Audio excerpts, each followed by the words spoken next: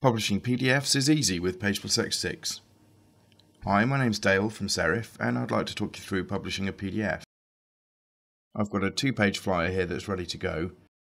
Uh, before I get started, I'd just like to point you over to the How To tab at the left of the screen, which contains a load of instructions, including publishing a PDF for general purpose or for professional printing. So let's get started. Click on the Publish as PDF button at the top of the screen as you can see, there's a fair few options you can set here, but the most important is to choose a publishing profile down at the bottom. Now these contain presets for lots of different purposes, and we're going to choose a web-friendly profile. Because it's for the web, there's no need to worry about any pre-press settings. Let's take a look at the image compression. We can see here we've got some average quality JPEGs being produced in our PDF, this means the file size won't be too high, but the images will still look pretty good.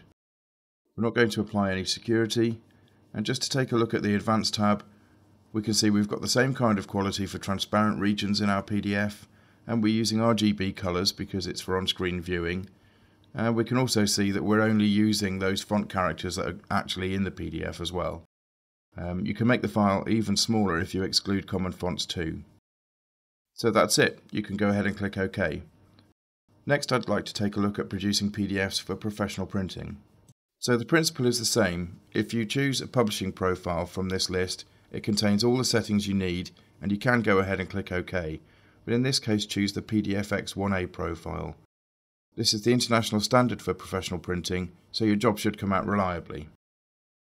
But just to talk you through the settings, on the pre-press tab here we can see there's a load of printer marks now enabled and also we've got an active bleed area as well of 3 millimeters. So bleed area is a region beyond your normal page size that the design overflows into and printers trim this away for a neat result. We've got much higher quality images, higher resolution with a better compression, again no security, and in the advanced tab we've got higher quality transparent regions and we're also using CMYK colours for print presses. There's no option to mess around with fonts here, so the job should come out more reliably. And if your professional print shop requires it, you can also specify an output intent here that should mean you get even more accurate results as well.